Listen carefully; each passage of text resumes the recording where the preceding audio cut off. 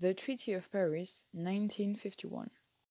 During World War II, Europe has suffered of material and economic losses. After the war, Europe had to find a solution to rebuild itself and have a lasting peace. This is when the idea of a treaty came out.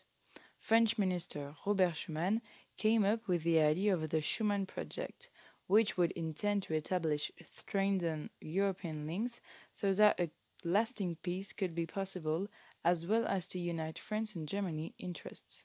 Robert Schuman has a pretty incredible story. He was born in Luxembourg in 1886 and became a lawyer. He was arrested by the Nazi, but he managed to escape and had to hide.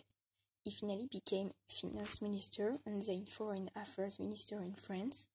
Then Jean Monnet, a French international banker, has the idea of unifying the production of coal and steel under a supranational high authority to counter a possible war industry. These two characters are played as the fathers of Europe.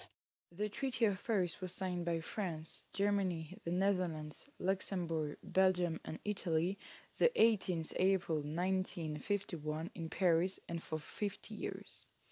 The treaty, composed of a hundred articles, establishes the first European community called the European Coal and Steel Community, which has four institutions the High Authority, the Common Assembly, the Special Council of Ministers, and the Court of Justice. The aim of the treaty is to have a higher standard of living within the member states, the development of the economy, the increase of employment. There are no more custom duties and restrictions on the free movement of products. It is free competition. There is a common market for coal, iron ore, scrap, and steel.